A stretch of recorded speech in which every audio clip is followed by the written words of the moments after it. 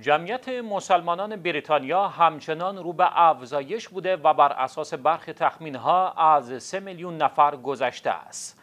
به گزارش شیویوز به نقل از دیلی میل بر اساس برآوردهای مؤسسه وایت هال جمعیت مسلمانان بریتانیا برای نخستین بار از 3 میلیون نفر گذشته است.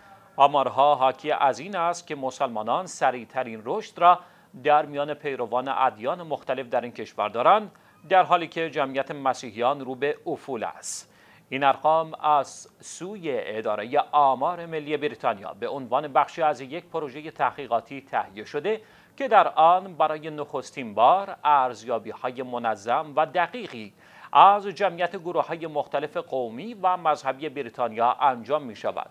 بر اساس آمار اداره آمار ملی جمعیت مسیحیان همچنان در حال کاهش است اما امکان کند شدن این روند وجود دارد.